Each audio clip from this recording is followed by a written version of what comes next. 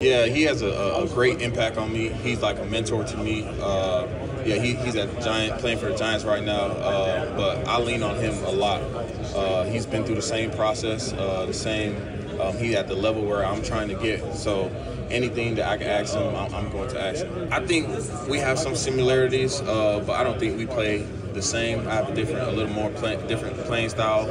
I think I'm more of a, a finesse play style, and uh, you know he's more. Um, know, striking and, and more like a, a, a bulldozer, and I'm more of a, of a.